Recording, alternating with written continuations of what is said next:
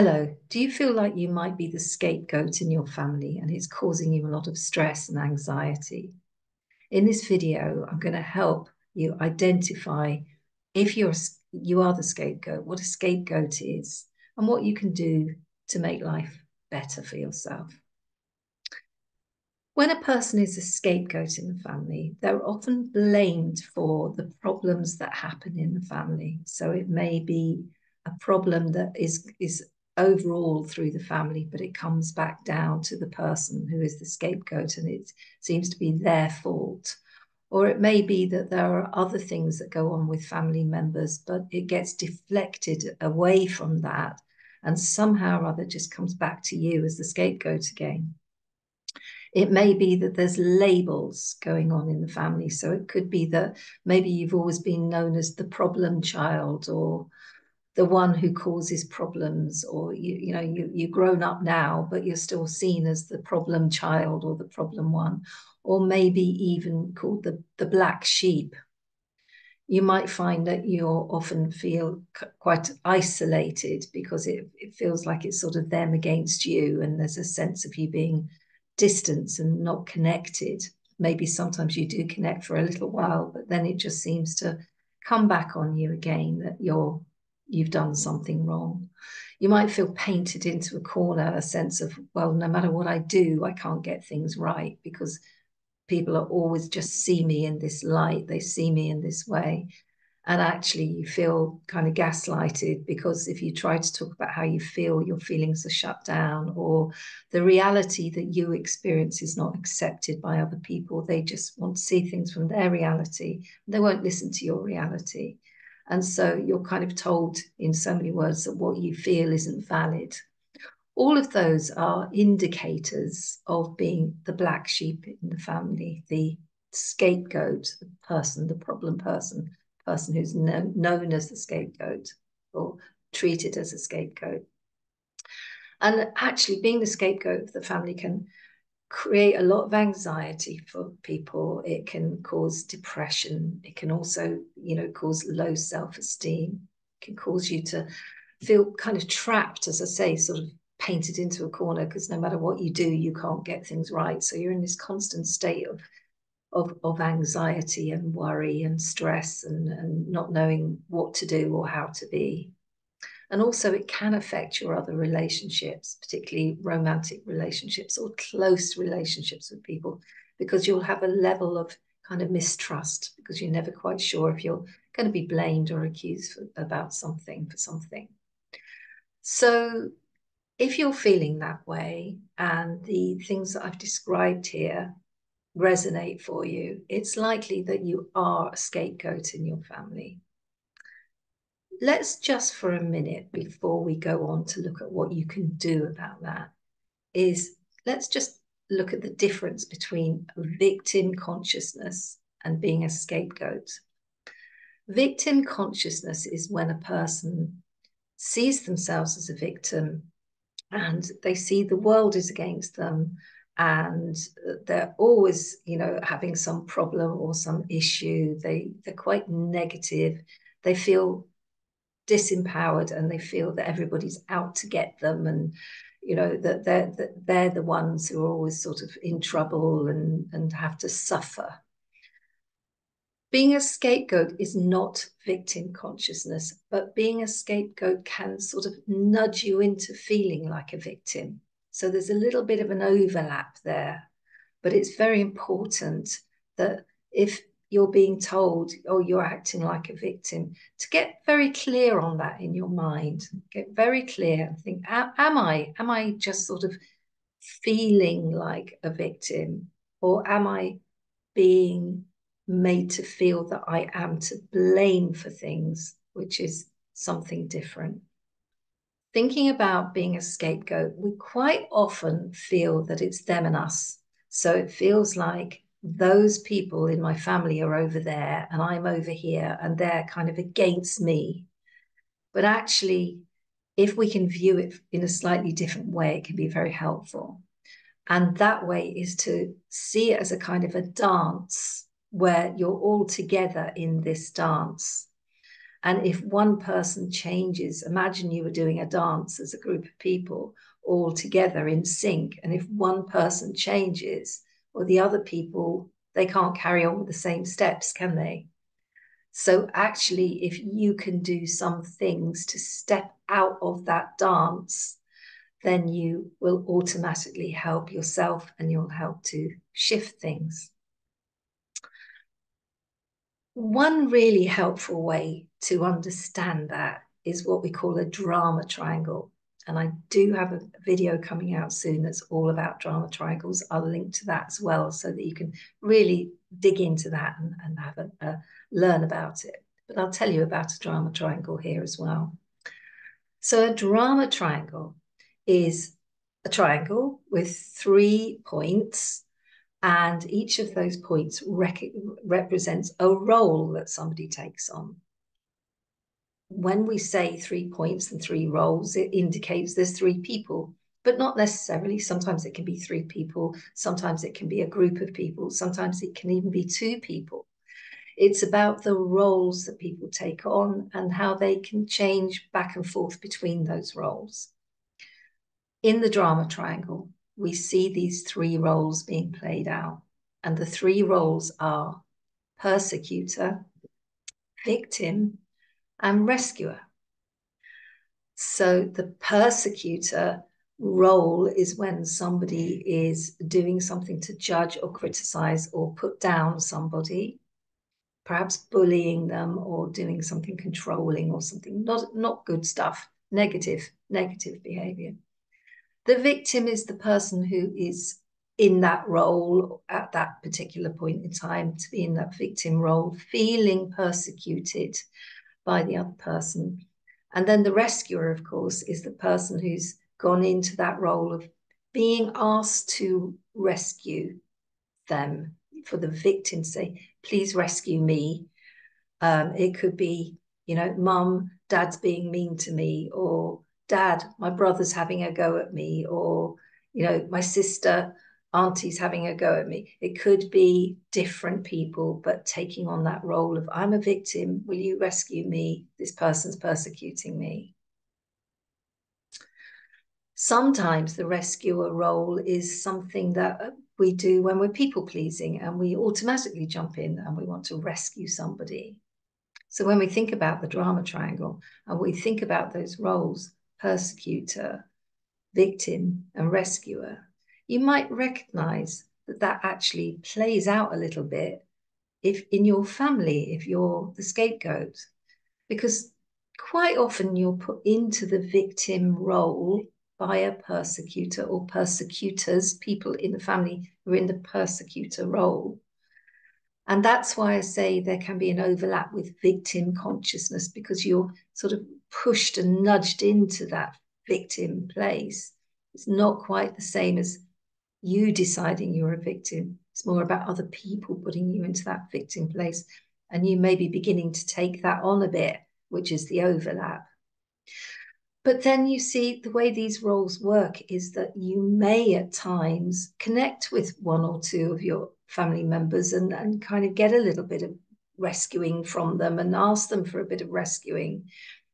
But it may not last for very long because then the rescuer is seen as a persecutor by the other people in the family because they've sided with you instead of siding with them. And then if you get a little bit confrontational or a little bit upset or a little bit cross and say, you know, you're, you're blaming me for everything, I don't like this behavior, guess what? You become the persecutor in their eyes. And then they look to each other to rescue each other. And so it goes round and round and round.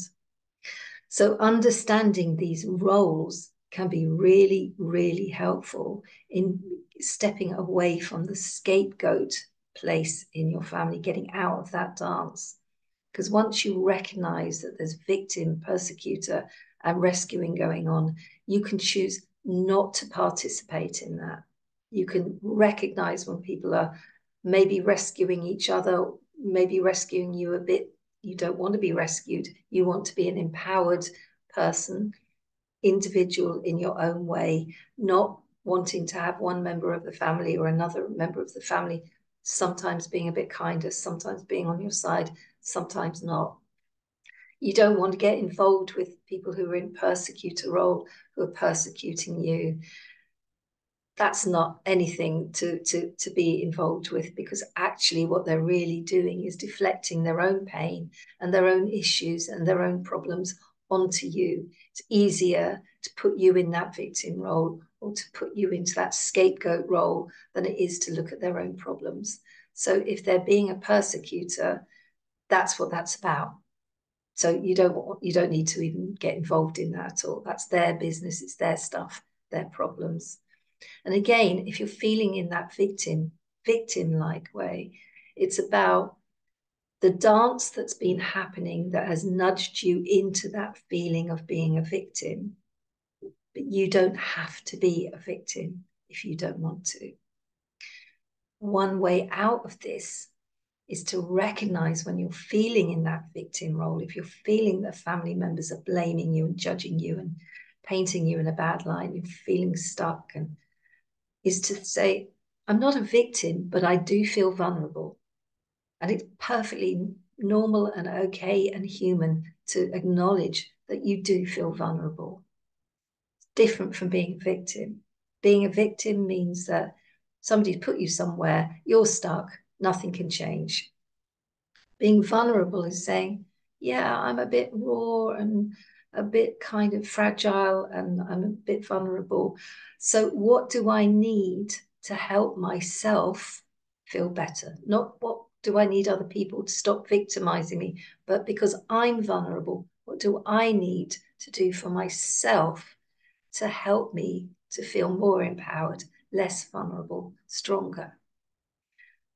What can you do for you to help you with that? It may be that you need to step away from the family members who are putting you into this sort of victim situation. Step away from this being the scapegoat and actually start focusing on spending much more time away from, from that environment, that energy. It's also about saying, well, okay, I can step away from that. But what do I also need to do for me to help myself feel less vulnerable, less wobbly, less fragile? What, what self love can I give to me? And that can be all sorts of things. It could be practical things, looking after yourself, your health, your diet, your exercise, pampering yourself. But also, a big part of it is how you're talking to yourself. Notice how you are talking to yourself. Are you saying kind things to yourself? Or have you incorporated those family members' voices into your head? And are you repeating things in your head that they that they say about you? Or are you are you trying to resist what they've said? Are you having conversations in your head saying they've accused me of this and I haven't done that? And, and getting into that energy space of being defensive. How about changing that to giving yourself loving, kind thoughts. You're doing great. You're wonderful. See what you achieved. See how kind you are. See what empathy you have. See what a lovely person you are. See all the good things about yourself. See how compassionate you are. All of those wonderful things that you can say to yourself and soothe yourself. It's all right. It's okay. You feel vulnerable. I get it. It's fine. You'll be okay. Life can go on. Lots and lots of things. Talk to that inner child, that child within you, who maybe started this journey of being the scapegoat a very long time ago and needs that soothing. So talk to yourself, that child within you. Lots of love, lots of nurturing, and just not concerning yourself with the other family members and the dance and the game of victim, persecutor, rescuer that they're doing all the time. Don't just step away from the dance, just focus on yourself and understand that it's okay to be vulnerable. The other thing you can do is really focus on any other relationships you have in your life that are healthy. Really, really enjoy those relationships. Think about the positives of those relationships. Think about the trust you have in those relationships, the connection you have in those relationships. Small things could be small things like that person doesn't put you down. That's quite a big thing, I guess. But, you know, having thoughts about that rather than thinking about, you know, can I trust this person? Notice all the good things that have happened in your friendship or your partner or your work colleagues or even acquaintances, all the positive interactions that you have. Focus on those because really being the scapegoat is really about stepping away from that dance, stepping away from that role. You're never going to be able to wave a magic wand and change those family members and make them behave differently towards you unless you step away from the game, step away from the dance. I can't say it enough in this video. Step away from that interaction, a dynamic, as we call it in psychology, which is a kind of the energy and the interactions that goes on between people. Step out of that. When you do that, those family members, well, what can they do? They have to reform the dance it may be that they'll reform that dance amongst themselves and you will be disconnected from them. You may not be able to get back into a close connected or ever, if you've ever been in a close connected relationship with them. Or it may be that they'll kind of have a reshuffle because you're not there to blame anymore. You're the black sheep's gone bad, disappeared out the field. There's nobody there for them to to judge and criticize anymore. So they will have to reform the dance that they do with each other and for themselves. There's nowhere for them to deflect their pain and their responsibility and their difficulties and their challenges. They have to take a look at themselves and make some changes, in which case you might be able to then have a better relationship with them in the future. Or it may be that they'll con- continue the same old dance amongst each other, but you won't be part of that dance anymore. So, if you feel that you are the scapegoat in your family, I do hope that this video is helpful. I'd love it if you'd leave your comments below and tell me, share your story. It will help other people as well do hit the thumbs up like button. That way more people get to watch this video, they get to see it, they get to watch it. And so you're helping me to help them. Don't forget to hit subscribe and note the notifications and you'll know when my other videos are coming out. And thank you very much for showing up for you today. Thank you for watching this video all the way through, for showing up for you and for thinking about making positive changes in your life. I look forward to seeing you in the next video. Bye bye for now.